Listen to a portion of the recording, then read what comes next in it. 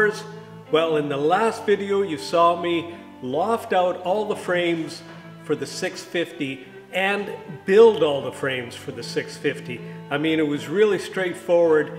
Anyway, this episode, we're going to install those on the Strongback. Now, the Strongback, some of you may have noticed, it was built over here, but we've moved it over here, so we, are going to have to tweak a few of the measurements on it before we can uh, start installing the, uh, the frames. Anyway, a lot to do, time to crack on.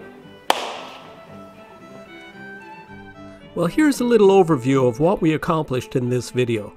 Now, after this sequence, I'll go back to the beginning and I'll explain in detail all the steps that are necessary to put the frames on the strongback to straighten and plumb the strongback and to ensure that the frames are in their proper positions and the water line all lines up.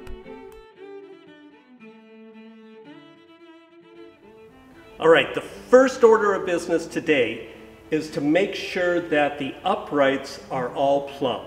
So in order to do that, I will just stick a spirit level here on the um, where the transom is going and it's looking pretty good. I'll do the same to the other side. And then once we have these locked in place, I mean they are right now, then the next order of business is to make sure that the spacing between all the uprights is correct. And it is, you know, I've double checked that. The tops, on the other hand, we will pull a tape measure from the top here and we will make sure that the spaces between all the tops are correct. Then we'll relock all the braces and hold them in place. Once we have that, then we're in a position where we can start thinking about putting the frames on. Anyway, Rovers, there is a lot to do. Time to crack on. Okay, so from the construction diagram, I see, yes, this measurement is dead on. I've released this brace right here. I just have it connected with a clamp right now. And I'm just going to make sure that this distance is the same. And it's not, so I'm going to adjust it.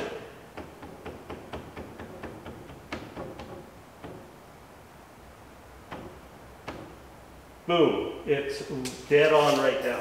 So this distance and this distance are now the same. I can take my screws and I can put a screw in there.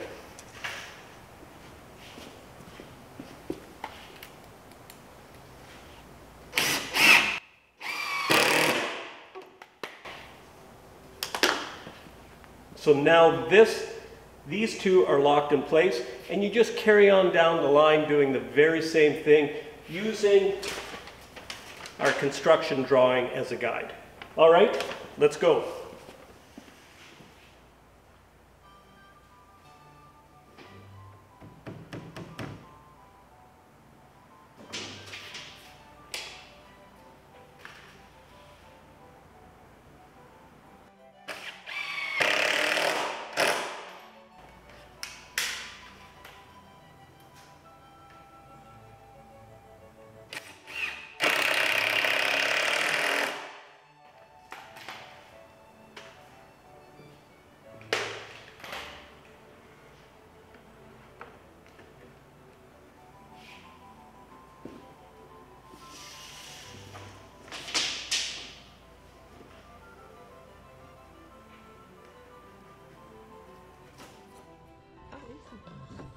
Well, now the strongback has been plumbed, and frames, uh, the supports for frames 1 through 4 are perfectly spaced and plumbed.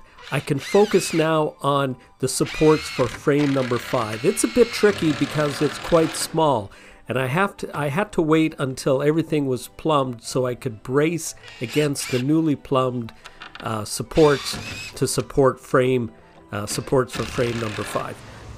Can you see the level? Yes. Okay, good.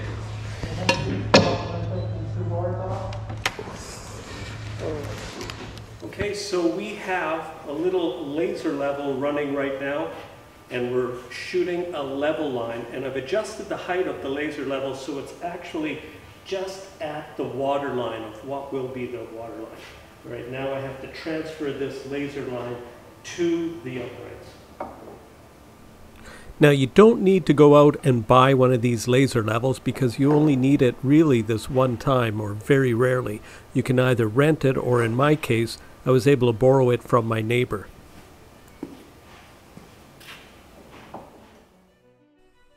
Now we're getting ready to hang the frames on the strongback and job one is to put a water line right across the entire frame.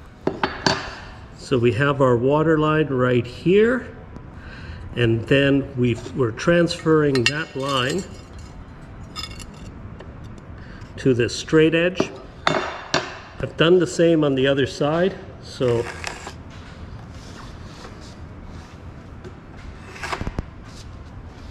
there we go. Now we can attach a piece of wood here.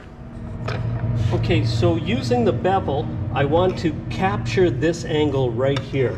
So in order to do that, I just set my bevel up along this line and just run the blade.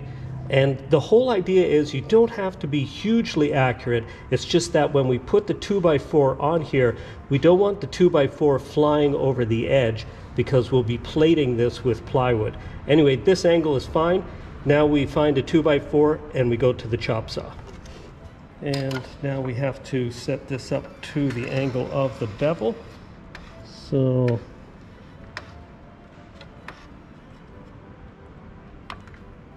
there we go, set.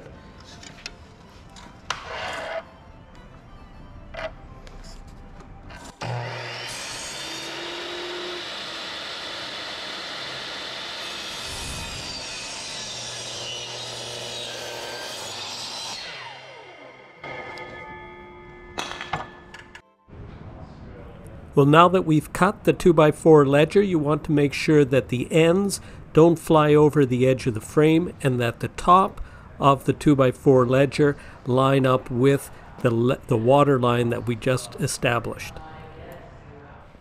Then it's just a matter of securing it with some screws.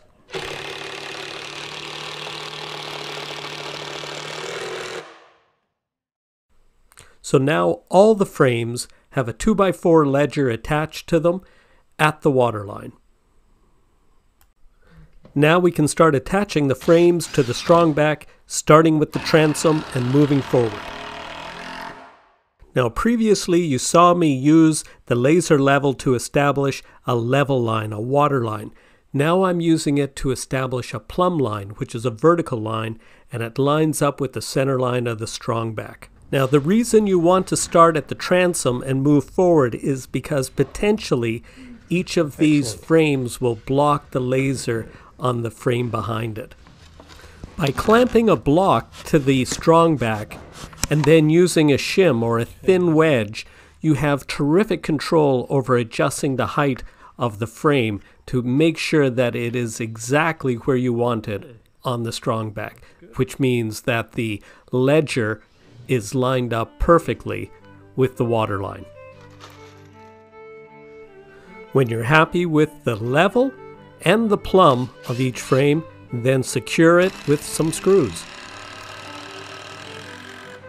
Now, as you've seen, the gussets on the top of these frames is half inch plywood. So in order to make the frames plumb, you have to stick in a half inch spacer at the bottom of the frames, and that's what I'm doing in this sequence. Now all that remains are to remove the temporary braces that we had previously put on the frames to keep them from spreading apart. Looking forward through the completed frames,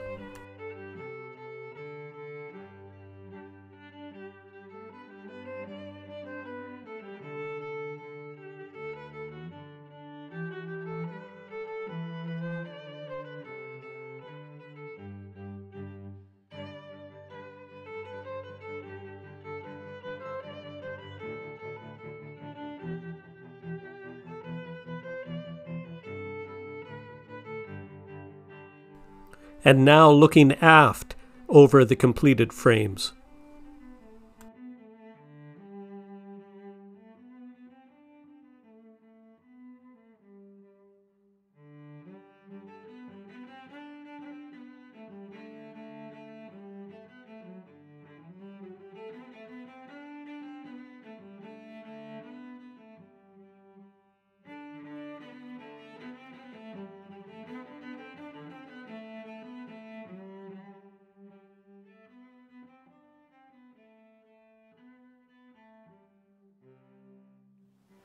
Well, Rovers, we got a fair amount accomplished uh, since the last video. We, it really only took about a day to get all these frames up, and it took about a half a day to get the bow piece, the stem support in place. So about a, about a day and a half. It took me about half a day of planning, so let's call it two days to accomplish all this. Not bad, really. It's, uh, and most of that is due to keeping things simple, you know, and those are the conversations I have every morning with Andy, the architect, is, you know, this is what we want to do, this is the engineering, and how do we then make it really simple? So we work together to accomplish that. Now, I also promised you that I'd go over the material costs, or the material costs to date. All right, so here it goes. So all the material for the strong back came to 406 US dollars. This does not include tax or transport. I've decided to leave both those numbers off all of the totals because that changes for everybody. In fact, we pay really high taxes where I live and everything has to be shipped here, so it would be unfair to include that in the totals. Now the next number is marine lumber and plywood. So that's 28 sheets of 3 8 marine plywood and two sheets of quarter inch maple plywood, uh, enough white oak for the keel timbers, and enough pine for the shear stringers. Now the next number includes the epoxy resin, so that's 60 liters of epoxy resin or 15 gallons, and enough fiberglass, I believe, to do the entire job as well as the fillers such as the micro balloons. So that gives us a grand total of 5,525 US dollars. Now this total, I know I'll have to spend at least a couple of hundred dollars more on pine to complete the project, and also this does not include anything toward the sails, the mast, the keels, or any of the hardware such as the gudgeons and pintles, which are the hinges that the rudder relies on. So, you know, there are going to be additional expenses. But th these are the costs to date, and these are the costs that are going to get us a long way into the build. I'd like to honor three new names for the benefactors bulkhead. Robert Porter, David McCurdy, and Simon Law. These folks have made a donation of $100 US or more, and their names are going on a bulkhead inside Wave Rover and will be coming with me on my circumnavigation. Now, these funds make a great impact in offsetting the cost of materials, so a great big thank you.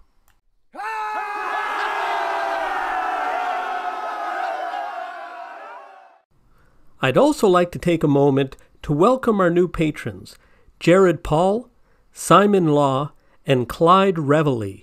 And Clyde actually moved from helper to rigger. Now, your pledges of support help the channel in so many ways. So, thank you.